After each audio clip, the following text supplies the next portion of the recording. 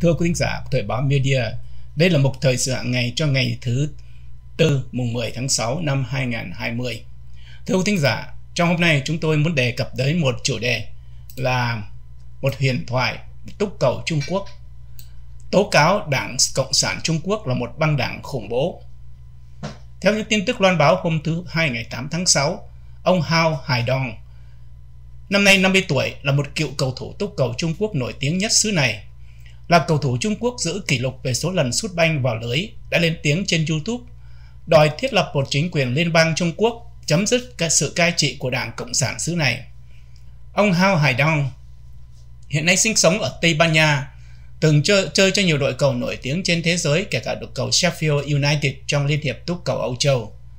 Trên YouTube, ông Hào Hải Dong nói, long trọng nói là Đảng Cộng sản Trung Quốc là một tổ chức khủng bố được tài trợ bởi các đảng Cộng sản quốc tế, ý nói là Cộng sản Nga, đã lật đổ những chính quyền hợp pháp của Trung Quốc từ bao nhiêu năm qua. Lời tuyên cáo của ông Hao được công bố vào đúng thời gian tưởng niệm 31 năm ngày Trung Quốc cho đàn áp những cuộc biểu tình đòi dân chủ diễn ra ở quảng trường Thiên An Môn.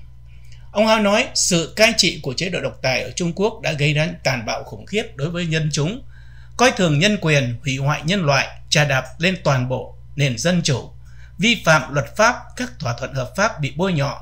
gây ra đổ máu lớn ở Hồng Kông và tham nhũng xuất khẩu trên toàn cầu. Những tội ác mà nó đã gây ra quá ghê tởm để được dung thứ. Việc loại bỏ Đảng Cộng sản Trung Quốc là điều cần thiết trong việc phá vỡ xiềng xích nô lệ áp đặt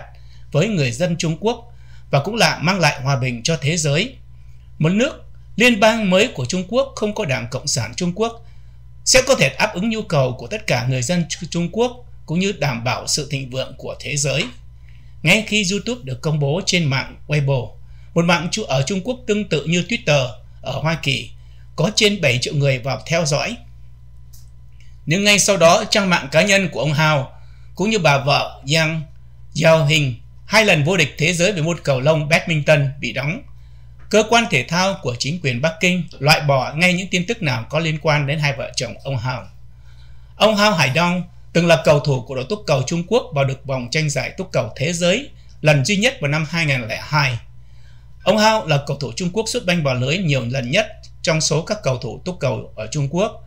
41 lần trong các trận tranh tài quốc tế và trên 100 lần trong các cuộc tranh tài nội địa.